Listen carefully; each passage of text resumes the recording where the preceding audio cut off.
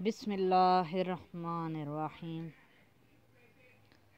10th class chemistry lecture number 13. Today I am here to deliver the next topic indicators. What are indicators? Indicators are the organic compounds that have different colors in acidic and basic solutions. Litmus is common indicator. It is red in acidic solution and blue in alkaline solution. Each indicator has a specific color in acidic medium which changes at specific pH to another color in basic medium. Color of indicator in acidic medium is different and in basic medium is also different. For example, phenolphthalein is colorless in strongly acidic solution and red in strongly alkaline solution. What is the color of phenolphthalein? In acidic solution, color of phenolphthalein is colorless, no color. And in basic solution, color of phenolphthalein is red. It changes the color at the pH of about 9. When value of pH is 0 to 9, the phenolphthalein is colorless and from 9 to 14, the phenolphthalein is red. And litmus from 0 to 7, color of litmus is red and 7 to 14, color of litmus is blue. For methyl orange, methyl orange color from 0 to 4 color of methyl orange is red in strongly acidic solution and more than 7 from from 4 to 14 strongly basic solution color of methyl orange is yellow color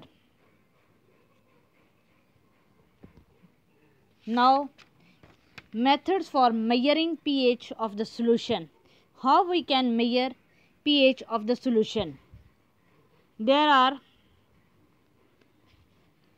two different substances from which we can measure pH of the solution. First is universal indicator and second is pH meter. How we can use universal indicator and what is universal indicator?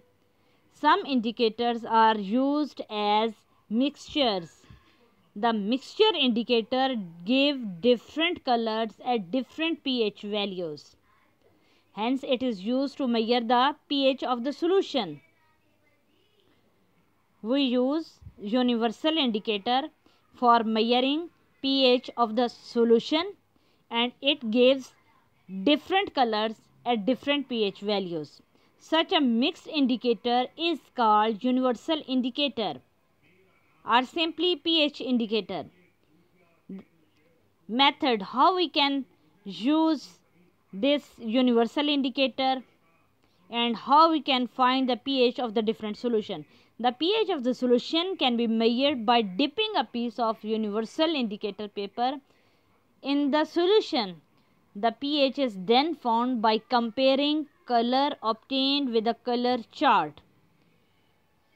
Here is color chart of pH using universal indicator. Now second process for finding pH of the solution is pH meter. With the help of pH meter, we can find the pH of the solution. The pH of the solution can be measured with a pH meter. It consists of pH electrode connected to a meter.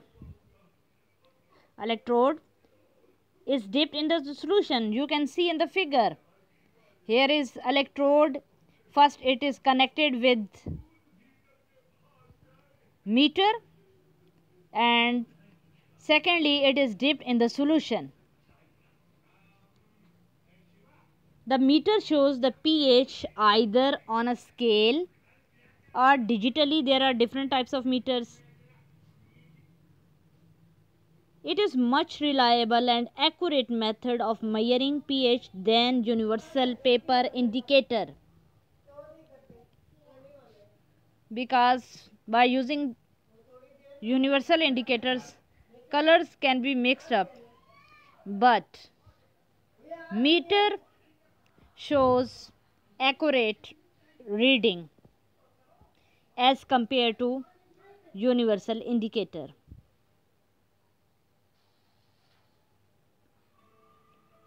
Now these was these were two methods for finding pH of the solution. Today's topic has been completed. Take care. Best of luck. Allah hafiz